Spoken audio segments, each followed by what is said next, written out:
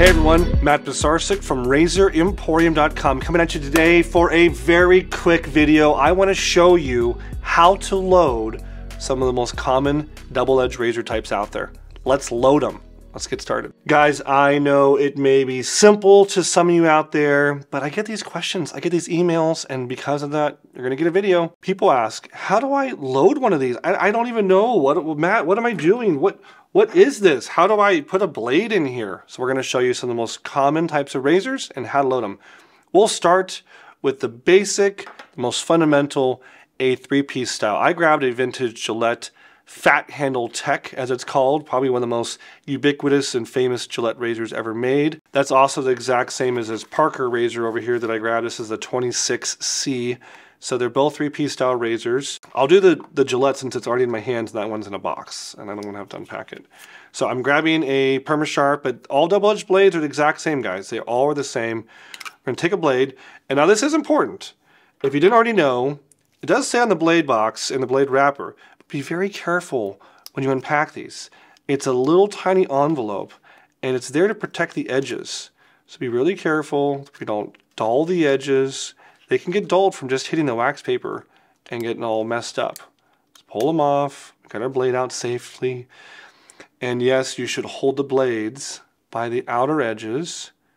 If you're crazy like me, you grab the sharp edge. Ah! But seriously, just just the side edges. I'm gonna set it down just for a second on my sink. And I got a three-piece razor. What's the combination of this thing? So you hold the head, you grab the handle, we do a little twist, a little shout, handle comes off, cap, as it's called, goes in the palm of your hands, blade goes on top of said cap, guard goes on top of said blade.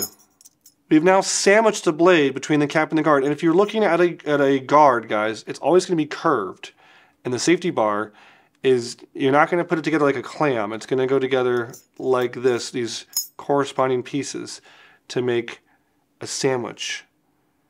You can see a little review of a blade. And now I can, I can grab that. And the safest, easiest way is just to thread that handle right back on while it's in the palm of your hands. No chance of getting cut unless you are going haphazardly fast at this.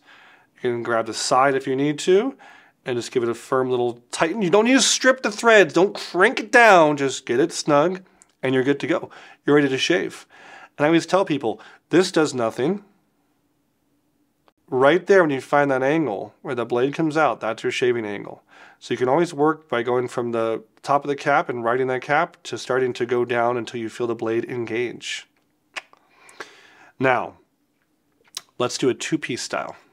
Okay, one of the most famous two-piece razors ever out there is a Merkur 34. Now this happens to be the gold-plated variety. Just, just to give you guys some variety of what you're seeing. They do make the gold. The G, the gold. So we got that. And you're saying the same thing. Matt, what is the combination to this? I, I, how do I unlock the secrets of the universe with this? Real easy. Two-piece style. Bottom is actually going to open, so we're going to grab it and twist. You'll feel that top cap kind of disengage, and now that top cap can be removed. Okay? I'm going to tell you to do this exactly the same way. I'll put the handle down. I've got the cap. Cap goes in the palm of my hand. Double edged blade, holding by the sides, carefully goes over that onto the guiding posts or alignment tabs, whatever you want to call it. And now I can drop it like it's hot right on top and just slowly start turning that until my threads are back engaged and I've got it resecured.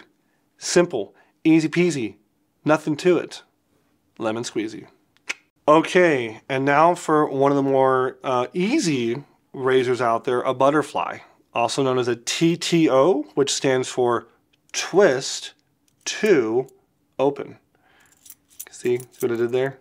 I twisted it to open. I butterflied open. I silo doored it open. I missile siloed it. I've heard these doors called everything. It's missile silo doors opening up. It's bomb bay doors dropping a bomb. I, I, they're butterfly doors to me. They're they're one piece, one piece razor. So we did three piece, We did two piece and now the one piece. So this is the easiest of all. It's actually why Gillette made the very first butterfly razor in 1934 was for the quick load. Most of them are going to have a little hook and you actually can use that. See how that little center bar has a little hook on it and your blade here has a corresponding little notch. Bam. Do you see that? Let's do instant replay. Oh crap. Let's do instant replay. Yeah. Close it back up. So simple, right? I'm ready to shave. And the same thing, you don't have to crank this down, just give it a nice little snug. The Gillettes have like a little kind of quarter turn lock. You're good to go. If you don't have that quarter turn, just clean it with some dish detergent and you'll get it right back. But again, that thing's ready to go. Won't shave like this, won't shave like this, just at that right angle, like 20, 22, 25 degrees. You'll feel it engage and you can be shaving away. Butterfly razor for quick loading, easy access, bam. Bam! Easy. Well, whether it is a one piece, a two piece, or a three piece style razor, we've showed you the secrets of unlocking the universe of double edged shaving, of how to load these guys up. I hope you now are confident to go forward and give yourself the best shave of your life. Thank you so much for tuning in.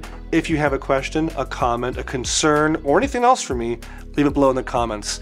And we'll see you next time at Razor Emporium for all things vintage shaving. Thanks, guys.